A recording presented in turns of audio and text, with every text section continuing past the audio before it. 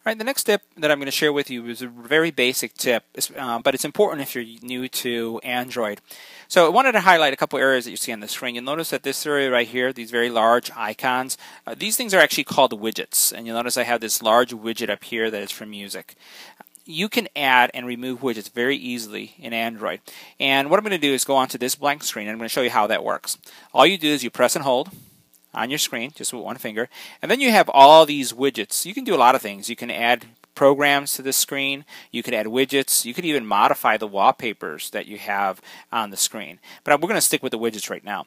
So these widgets that you see here are basically widgets that come pre-installed with the uh, actual default LG G3.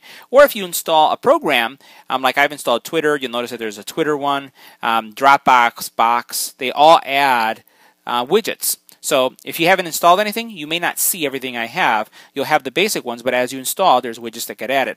So what you can do is find a widget that you'd like to add, and I'm just going to swipe through and, and find a music widget, you know, as Google Play. And I'm just going to press and hold and drag to the screen wherever I want it to go. Now it's faint, but it's it's there on the screen. You'll notice that it's actually showing me in the grid where it's going to fall. So as soon as I let go, and if I tap back on that screen, now that widget's been added.